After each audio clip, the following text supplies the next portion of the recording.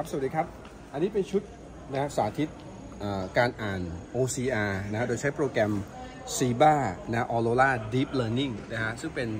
ตัว AI ตัวใหม่นะครับล่าสุดของทาง SIBA นะครับตัวนี้เราโชว์การอ่านตัวหนังสือนะครับ Barcode 2D Code นะครับนะด้วยความเร็วนะฮะซึ่งตัวนี้สามารถอ่านด้วยความเร็วสูงสุดได้ถึง 1,000 ครั้งนะฮะต่อนาทีนะครับ สามารถอ่านตัวหนังสือได้ทุกแพลตฟอร์มนะฮะตัวนี้เราใช้ตัว AI Deep Learning ของ Zebra นะฮะใน